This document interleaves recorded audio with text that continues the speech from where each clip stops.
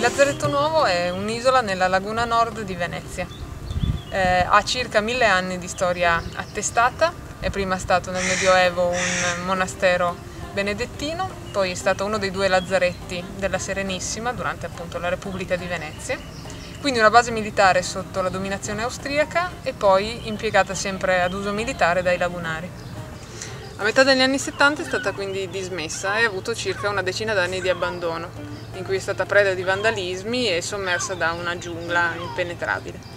A metà degli anni Ottanta siamo quindi arrivati noi, che siamo un'associazione di volontariato che si chiama Ecos Club, il cui statuto è votato al progetto di rinascita, di recupero di rinascita dell'isola.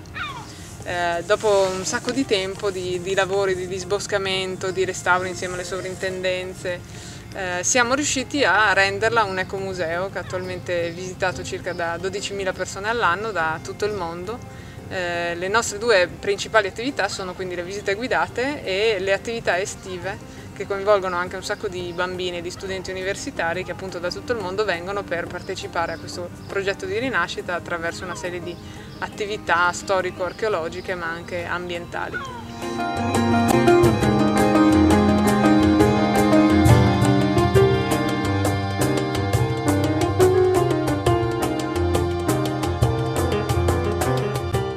Un luogo del cuore perché lo vedi dalla, dalla faccia di tutti quelli che ci passano, eh, che capiscono quanto è importante un progetto come questo, capiscono quanto vale eh, il patrimonio eh, in cui siamo, abbiamo la fortuna di vivere, quanto è meritevole prendersene cura in modo tale da riportarlo alla collettività.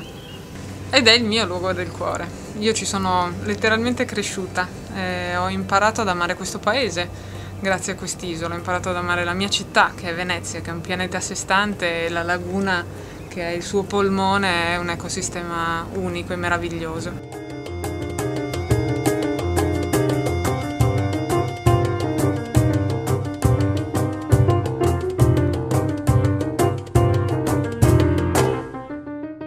La speranza è che l'avventura collettiva di questo posto possa proseguire.